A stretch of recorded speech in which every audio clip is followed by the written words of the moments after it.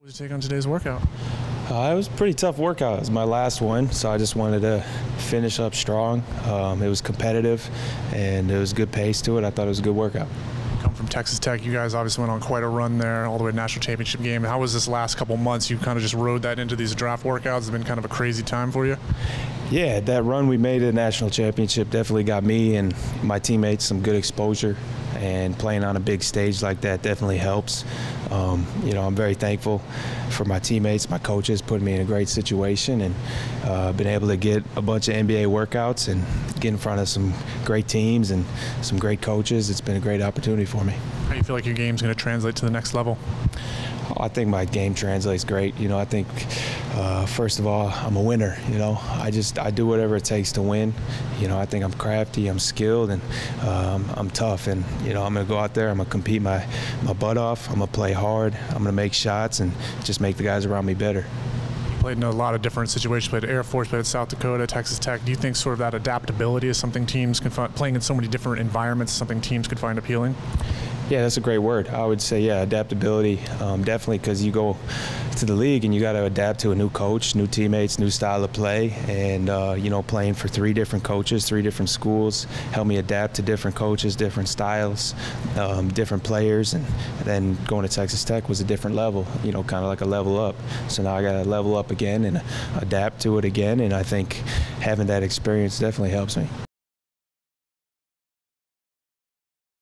Matur just wrapped up Hornets draft workout. What was your take on how things went today for you? I think it's real good. Um, they got me matched up with a big, you know, and I think I matched up well. Um, you know, he showed his areas, I showed my areas. You know, I showed that I was able to move quick, um, move my feet. You know, didn't get a lot of wins, but you know, competed. You know, that's what it's all about. You know, just trying to get better. That's my mindset. Assuming the big year matchup was against Goga, you guys both played in Europe this year. Was any kind of that help you at all, kind of in terms of play styles and anything like that going up against him? Um, I think it did. Um, I kind of knew where he's coming from. You know, he's big, slow-footed. So I was like, all right, I'm gonna tag him. You know, he did the same thing, try to seal me in. Um, I tried to be quick, get around uh, we just competed. You know, think we got better. Yeah. What is it about your game you feel like stands out the most? I feel like with me, uh, you know, just competitive. You know, just no matter what it is, if we lose, I'm still gonna fight. You know, we're gonna fight. Um, but yeah, I'm, I'm, quick. You know, I can defend. Um, you know, and I can down, get down to the hole. Yeah. How much is your brother, obviously playing with the Pistons, Thon? How much has he kind of helped you through this process that you just went through a couple years? Um, he's helped me a lot. You know, you know, just watching him and like he moved teams, and you know, I'm just thinking like, you know, it's the same work. No matter where you go, you know, um, you still got to put in the work, and you know, it's the same thing. You know, you got to continue to go where you want to go. So it's the same. It's been real good. You've been on a, a, path about as wide traveled as any, maybe as any prospect growing up in South Sudan, Australia, Canada, now in Europe. Is it kind of a relief, or what are your thoughts now? This is almost kind of finally coming to the finish line with the NBA draft just two days away for all the places you've been and played. Man, I feel like I've been everywhere, so I feel like you know with the you know with the NBA, I can fit into any situation. Um, been been a lot, you know. I've seen the snow, you know. I've seen the hot weather, so you know, I feel like I can just fit right in, you know. So I can adjust. I think that's helped me a lot. Yeah. You mentioned your brother. Like, what has he taught you in terms of this process and being ready for these workouts? I guess. Um, he just said, just be yourself. Um, you already know how to play basketball. You know, so, you know. He always said, you know, be the best you. You know. Um, you know, don't go out there and be an actor. You know, so I just go out there, you know, be myself. You know, if I don't shoot it well, you know, I'm gonna keep working. You know, that's what it's all about. You know, keep getting better. You know, get ready for the summer league. Um, you know, it's just it's a long process, so just enjoy it. You know, that's what he's been telling me. Well, for people who haven't seen your game, how would you describe your game? Like, what kind of player are you? Would you say? Uh, right now, I'll say, you know, I'm gonna come in and defend. You know, I love defending, um, you know, and competing just at both ends. Um, I like to get to the hole. You know, that's my game. Um, you know, shoot the mid range. You know, I just shoot whatever they give me, um, but I'm a defender first. You know, and I understand that. Wrapped up draft workout with the Hornets. What's your take on uh, how things went for you today? Uh, it was great. Um, very grateful that they gave me the opportunity to showcase my skills and everything. Um, you know, it's getting late into that process. A lot of guys are fatigued. Um, just shows how we can compete. We went out here, we battled. Uh, a lot of good talent out here. It was a lot of fun. So you're one of the top, I think, 20 scorers in the nation this year. You come from a small school, Eastern Kentucky. Do you kind of feel like you have a little bit of a chip on your shoulder going into these workouts? Uh, I mean, I feel like my whole life I've had a chip on my shoulder. Um, just being from from Maine and everything. Um, I mean, I, that's just how I approach everything with a chip on my shoulder. Uh, just got to come out here and prove myself. You feel like your game's going to translate to the next level? I think good. I mean, my, my ability, you know, to shoot the ball and space the floor, um, keep on working on my outside game and, and my inside game. So you had another Ohio Valley guy here. Did you guys know Chris, Chris at all, Oh, or uh, yeah. did that kind of help with familiarity, make things a little bit more fun? Yeah, uh, I mean, throughout this process, you know, you go up and battle against guys that, you know, could be on your team or that you play against in the same conference. Um, it's real fun to catch up and talk about games that we played against each other. Went today. Uh, I feel like it was a good day. You know, everybody competed, played hard. Uh, you know, just tried to show their talents to the front office that was here. Uh, you know, just hopefully one of the teams pick us. I'm sure you've done a number of these. How does this one compare to some of the other ones you've done? Uh, that's my last one, so you know it's hard. Uh, you know, fighting fatigue with the workouts that I did previously, but you know I just pushed through, and uh, you know I feel like I had a, a pretty good day. Could have did could have did some things better, but overall I feel like I did pretty good. Decided the draft's two days away. I'm sure it's kind of a physical and mental relief now that all this work last two months and you're kind of right there at the finish line. Uh, yeah, but you know, uh, on draft day is when it starts. Uh, it's not where it ends. So you know, whenever you get picked or if you don't get picked, uh, you know you got to work from that day forward. So you know, just hopefully my name gets called that day, and uh, you know I'll be grateful and I'll continue to work from now on. Coming from Iowa State, you did one year with the Cyclones. You guys were Big 12 conference champions. What is it your game that kind of sticks out? Where'd you have the most growth? You feel like during your one year in college? Uh, just you know playing with a, a really good group of guys. You know, coming from a high school like Simeon, you know, always playing around good players, uh, prepared me to go to, the next level. Iowa State, you know, play with talented guys. So uh, just learning how to compete, you know, with, uh, on an every night basis, you know, against the best, uh, prepared me for the NBA. I feel like so. You know, I feel like I was ready to make that jump. Today's workout. I thought it was really good. I mean, it's always fun uh, competing against some really good players, and uh, this was my last workout, so uh, it, it was good. Kind of approaching the finish line with the draft a couple days away, and then kind of you'll start figuring out where you're going to go. Does it kind of feel surreal that after these kind of last two or three months of workouts that you're you're almost there? Oh yeah, I know it, it flies by. I mean, uh, I was just in Syracuse, and now I'm on to the next chapter. So I'm really excited, and and uh, I'm really looking forward to it. You tested the waters a little bit last year at Syracuse. Had to go back. Where did you grow the most during this, your uh, final year with the uh, up at Syracuse? Uh, I think I think decision making, being able to handle the ball a little bit more. I mean, uh, there was times our point guard was out due to injury and stuff like that, um, and during that time, coach really uh, trusted me to handle the ball, bring the ball up, and make plays. So um, I think I grew in that aspect. How many different, you, you you mentioned the travel. How many different teams did you work out for? Uh, this is my 12th workout. Wow. Yeah, so I've been around. I mean, I worked out for a lot of different teams, a lot of different teams last year as well. So, uh, I mean, it's definitely a grind, but I mean, Syracuse prepared me for taking care of my body and and uh, just the traveling aspect. So I thought, I thought it went fine.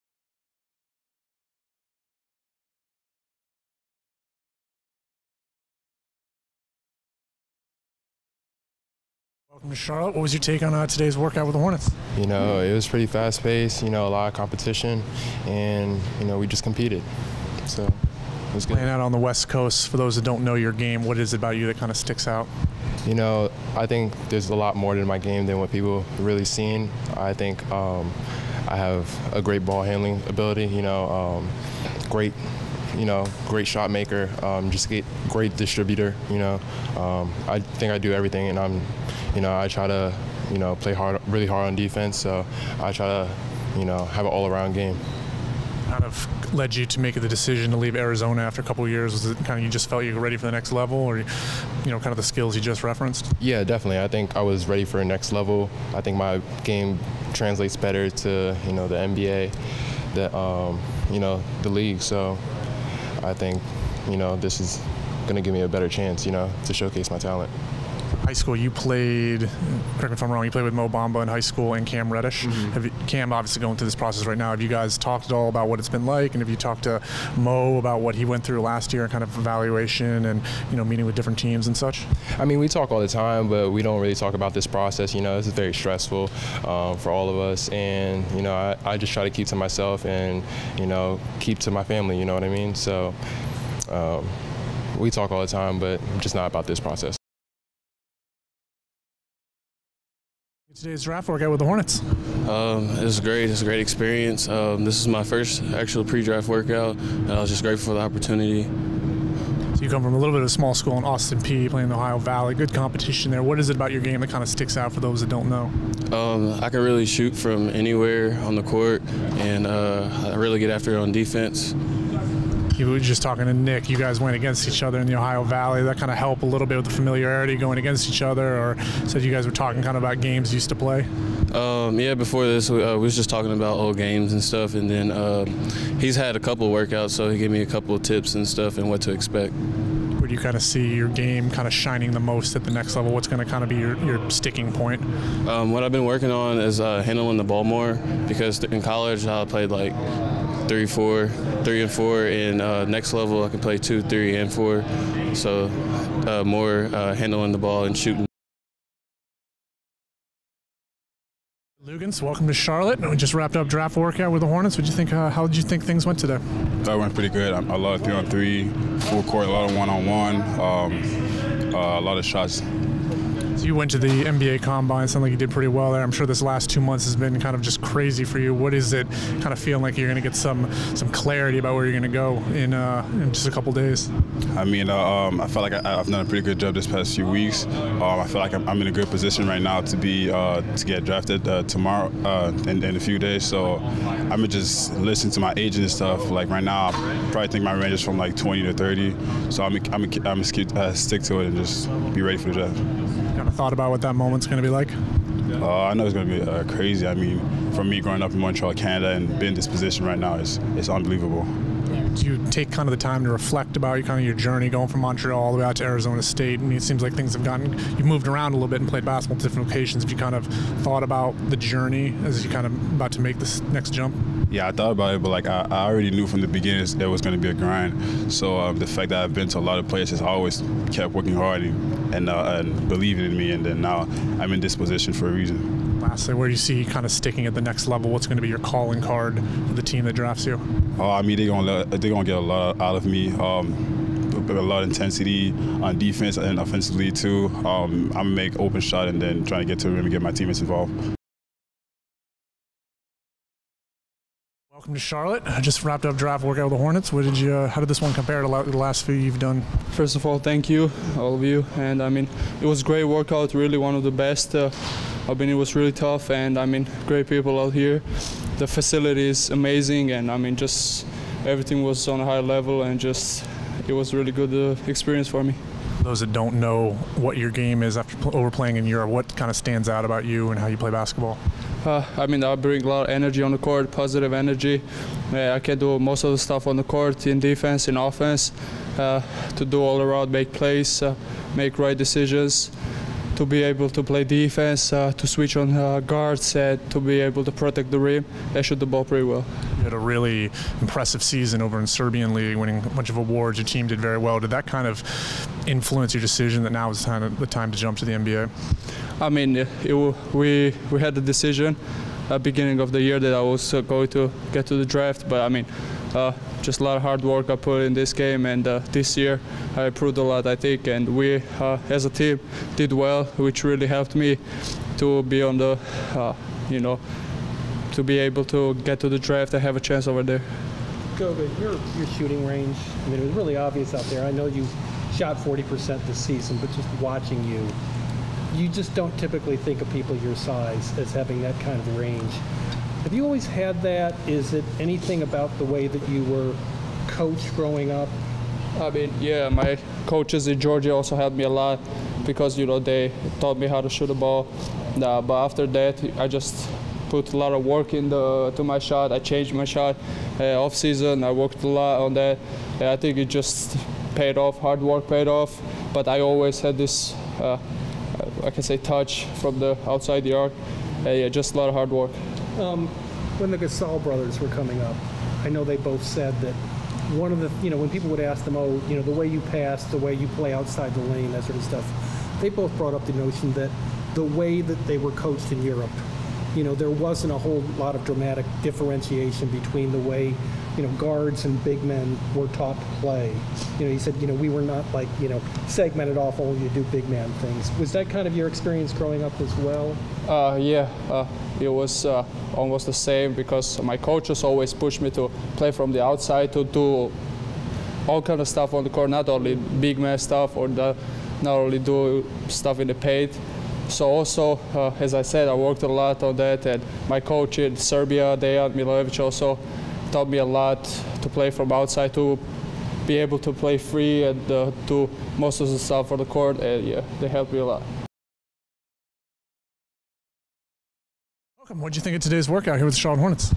Um, it was a great workout. Uh, had some great guys in there, and we just was competing, so uh, it was fun.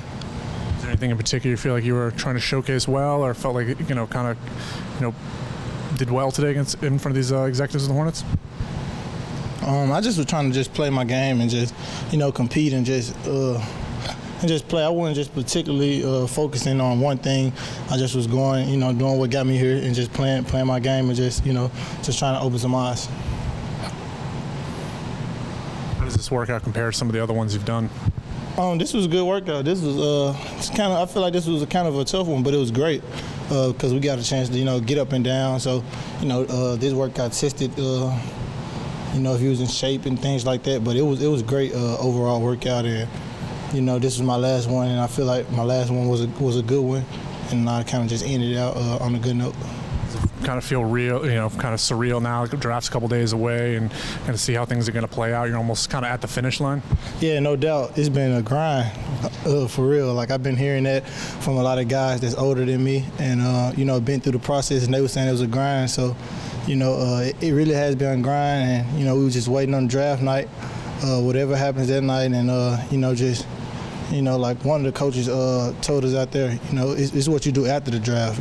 Don't get don't get your head so hung up on, on just draft night. It's what you do. It's afterwards. Draft workout with the Hornets. What do you think on how things went for you today? Oh, I think it went well. You know, I think I showed versatility on defense. I think I showed how to be able to play in space with the ball in my hands and the ball out of my hands. Uh, just talking to my teammates, you know, I, I, think that's the key component when playing defense here. You know, these are guys you've never played with, and you have to be able to talk and make adjustments. And I think that's what I'm best at. What did you feel like you were pleased with most today in terms of how your game kind of is going to translate to the next level? Um, just making plays out of the mid post, being able to catch the ball in the mid post and see cutters or even just fake passes that get to the rim, things like that. Um, I think I just did uh, well overall in that aspect, and also just on the defensive end, being able to switch and talk to my teammates and help on breakdowns on their end. Excited there's going to be kind of some finality to this whole process last few months, and just kind of get an answer of where you're going to be. Oh, definitely. You know, it's it's been it's been a journey, that's for sure. Um, just getting ready to go and figure out what's going on and what's going to happen on Thursday, but I'm excited it's finally in playing at a school like Indiana, which takes basketball very, very seriously, think kind of prep you to go to the next level? Uh, it prepped me well, just being able to play in front of all the fans, you know, playing, you know, top tier athletes every single game. Um, I think it just really prepared me for what's to come. And then also just being undersized at the four and five, it's prepared me to be able to take on and play a lot bigger than Napier.